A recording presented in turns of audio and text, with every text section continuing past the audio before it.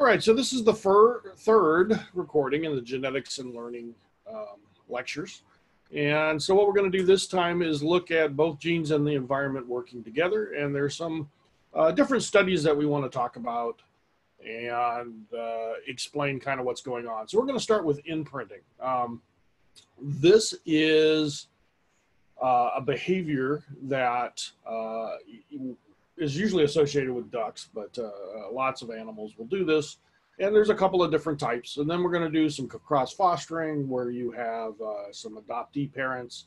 And then we're going to uh, do one on spatial learning just to kind of give you a uh, different versions of what could happen. So we'll start with the imprinting. And um, again, um, Lorenz is the one that's known for this. Uh, 1935, and you see the little uh, uh, gooselings that are following him. And on the right is a uh, Canadian geese and mom and the and the little uh, little ducks. And so what happens with with ducks? They're kind of in their brain when they're born. Um, they will imprint, and what they imprint on is really what they see at first. Uh, so how, you know, um, are you my mommy? How do you figure that out? Uh, what Lorenz found out is it's not an immediate, hey, I know you're my mother. Um, there is a what he called a sensitive period. And that sensitive period was the time it took that bird to kind of figure out, hey, you are my mom, and I want to start following you. And so this makes sense because when a when a, a baby duck hatches or goose hatches, it's typically whether you're going to see the most, it's going to be mom. Uh, what he did is he had them imprint on him, and actually, if you see here, he's wearing these rubber boots, uh, and the ducks actually associate to those boots. And that's what we did at the LA Zoo. We had an Egyptian goose, and we wanted to train it to follow us. And everybody wore uh, those um, boots. And so uh, it was something that they would uh, uh, follow. And we did a really good job, and the goose would follow us around uh, walking around behind us, uh, and we screwed up. And actually, there's a sensitive period where they um, are getting used to it, and then there's a critical period where it really kind of inlocks. And this is where we screwed up at the zoo. What happened was we had got another bird in called a trumpeter, and it's uh, a bird from South America, and it kind of looks chicken-like. Um, but what we ended up doing, and not thinking about it, is once it came out of quarantine, we put it in the cage next to the uh, Egyptian goose. Uh, so instead of following us, uh, it followed uh, the trumpeter. Uh, uh, during that critical period, that animal looked more like, you know, what, what it probably mom would look like.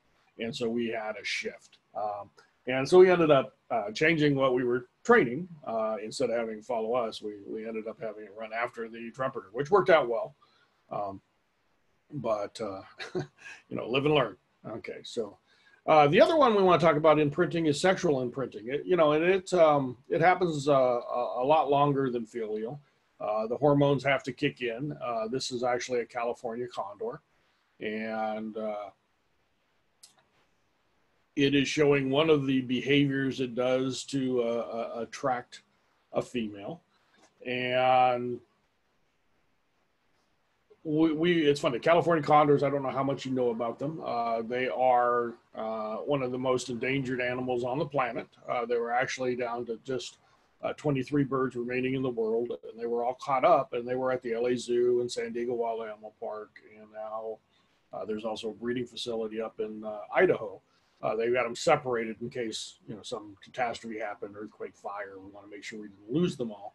Well that number is now way up. We have them back out in the wild. Uh, but uh, what I wanted to talk about is the sexual imprinting. Uh, so what they do is they kind of learn uh, what a partner looks like and what a partner will do. Uh, well, we had a bird at the LA Zoo called Topa Topa. And Topa Topa was, um, he had fallen out of a nest years and years and years ago. And before they were that endangered. And the LA Zoo took him in and put them in a cage and pretty much left them alone. I mean, there was no other partner for them. No zoos were breeding them. No birds, no, no zoos were even looking at condors as an, uh, an exhibit. You know, if you look at them, they're not the, the prettiest birds in the world. Um, so Uh, this bird was in captivity by itself for, for, for a very long time. Uh, but then all of a sudden, when the condors went down, it was important to get this bird in the population. Uh, uh what was exciting was um, Topa Topa was genetically different than everybody else that was out here. His line uh, died out. So he had genes that no other bird had. So it was important to get um, him involved. Well, the problem was uh, Topa Topa was loving the keepers.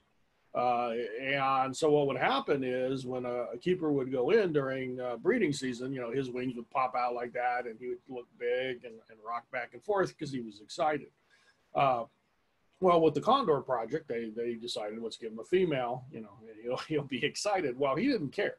Uh, he didn't like the female. He didn't know what the female was. Uh, and he would kind of bully her. Uh, and so they're trying to figure out, well, we need him to breed. So how do we how do we get him to um, figure out that his partner is the female?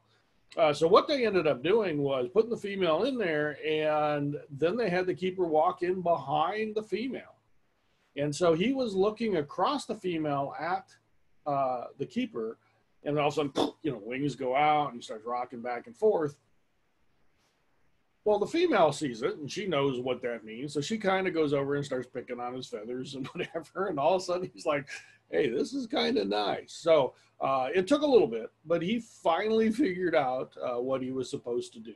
And uh, he now has, he's a proud father and his genes are represented. Uh, the other way to go would have been artificial insemination. Uh, but if you can get them to breed, it would, it's so much easier. Um, some other, a couple other uh, uh, studies I want you to know is cross fostering. Uh, these are two local birds. Uh, the one up on the top uh, is a great egret, and the one on the bottom is a, uh, a, great blue heron. And both of these are found here. Both of these have been seen in our wildlife sanctuary.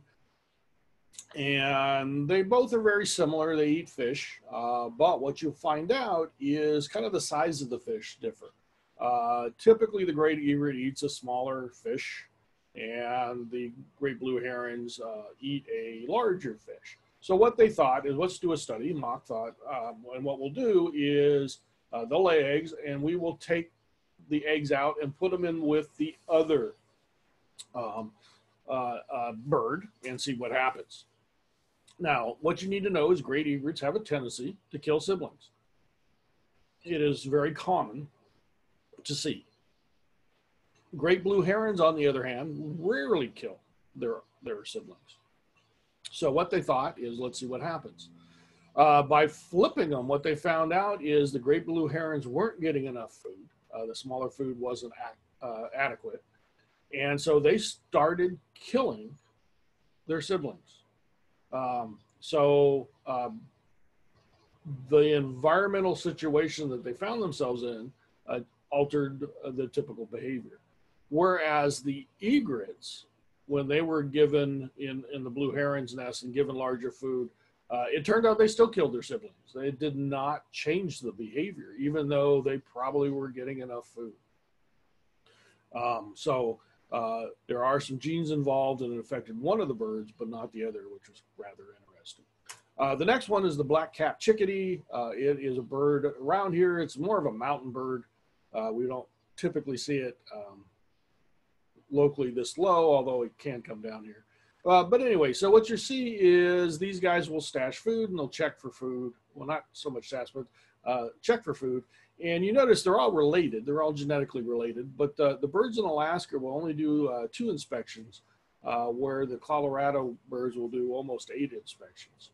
And the reason we think it is, it's all environmental uh, spatial learning. Where, where were things left? Uh, in Alaska, uh, you're under more extreme conditions. And so you don't have the luxury of continuing to check. Uh, whereas in Colorado, where it's a little bit milder, uh, you do have the luxury of going ahead, maybe doing more inspections. But yeah, Alaska is such a severe conditions compared to Colorado. Again, they're both kind of snowy conditions. Um, um, but the conditions of the environment really kind of affect the behavior of them uh, looking uh, for cache food.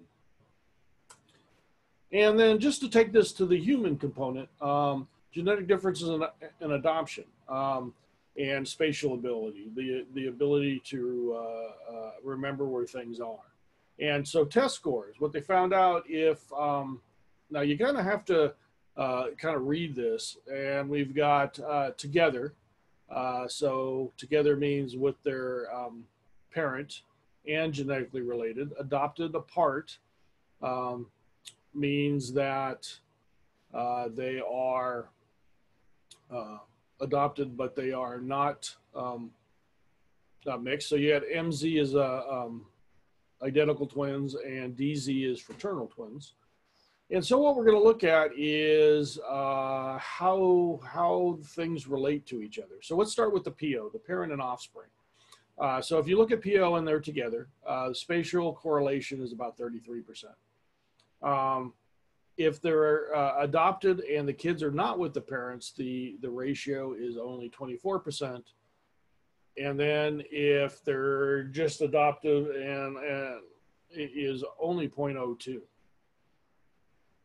Um, so there is very low correlation. So what this is basically saying, if you if you look at this, uh, is that there is a genetic component to it, um, and you can tell that because of the 33 and 24.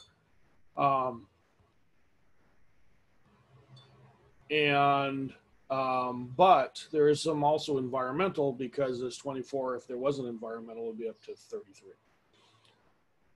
All right, so then let's look at twins. Now, the idea is twins are genetically the same. Now, um, I want to make sure you understand identical twins are identical. It means that a single egg was fertilized, that egg split into two, and now you have two individuals. So their genetics are pretty much, unless there's some mutation or change, the same.